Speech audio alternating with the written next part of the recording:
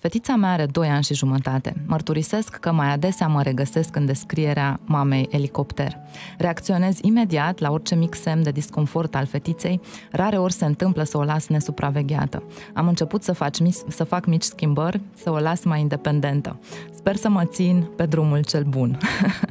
și eu sper că face acest lucru, Florina, pentru că, așa cum am spus, e vorba despre echilibru și categoric copiii mici au nevoie să fie supravegheați, este evident, pentru că nevoia lor de a explora și de a învăța îi face să se pună foarte ușor în pericol, așadar uh, nu este o idee bună să, să lași un copil mic nesupravegheat. Cu toate acestea, tocmai pentru că vorbeam despre explorare, este și vârsta, uh, începând cu 8-9 luni, când copiii încep să ia de bușilea prin casă, cei mai mulți dintre ei încep să ia de bușilea la această vârstă, iar mai apoi un an, un an și un pic când încep să meargă, nevoia lor de a explora este fantastic de mare. Și este uh, nevoia de autonomie pe care o au sau care îi face să pună mâna pe toate obiectele, nevoia de competență, să învețe, să bage obiecte în gură, să dea drumul obiectelor pe jos, să vadă ce se întâmplă cu ele. Ori dacă teama noastră continuă de a nu se întâmpla ceva rău copilului, îi blochează, practic, uh, nevoia de explorare, încet, încet copilul învață că trebuie să stea jos, că trebuie să stea cu minte, cu ghilimelele de rigoare, adică să nu deranjeze, să nu se pună în pericol. Și uh, teama este fantastic de mare a părinților, îi aud în jurul meu foarte des, uh, copiii abia încep să facă 2-3 pași în alergare și părintele în spate disperat, ai grijă, ai grijă! Și țipătul ăla numai mie mi se, îmi face să mi se strângă stomacul, nu știu cum reacționează copilul,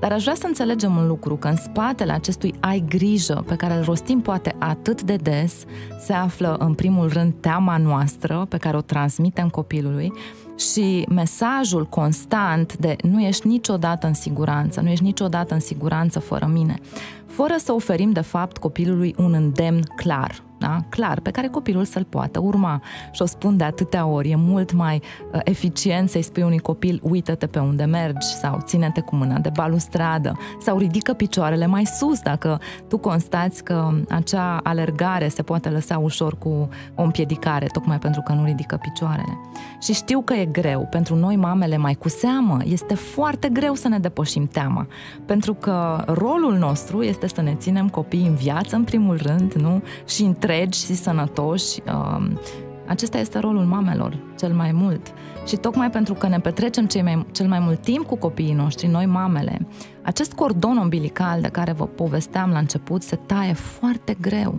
Și din păcate, foarte multe mame simt că, deși copilul s-a născut și cordonul umbilical a, f- a fost tăiat, ele sunt în continuare unica uh, sursă de hrană, de iubire, de atenție, de educație pentru propriul copil. Și cumva, fără să-și dea seama, nu mai lasă pe nimeni în jur. De multe ori nici tatăl nu mai are loc acolo, chiar dacă și-ar dori. Iar rolul tatălui, exact acesta ar trebui să fie sau ar putea să fie, de a-i da copilului aripi, de a-i construi curajul și independența, pentru că tații au puțin mai mult curaj decât noi. Pentru că ei își lasă copiii pe o cracă mai sus decât îi lăsăm noi când vor să se cațere în copaci. Pentru că nu sunt atât de disperați să umble după ei cu șervețele dezinfectante prin parcuri și pentru că această îndrăzneală pe care ei o hrănesc în copii, de fapt îi ajută foarte mult. Pentru că, da, este, este dificil să te pui în rolul de mamă.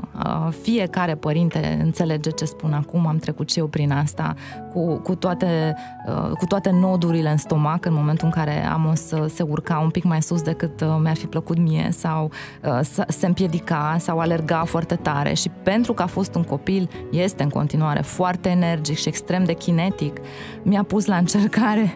greu această capacitate de a mă abține uh, de a-i tăia aripile, de a mă abține să-i transmit frica mea că el ar păți ceva și să-l încurajez pe acest drum al curajului și să-l învăț să se cațere mai sus și să învețe să se țină cu mâinile de craca respectivă și să învețe să se dea jos singur și să-i ajute și pe alții și să cresc uh, și cred că am reușit să fac asta până la 10 ani, un om curajos, Adică un om care nu, care nu are frică, pentru că acela este, aceea este inconștiență. Un om curajos este acela care își conștientizează frica,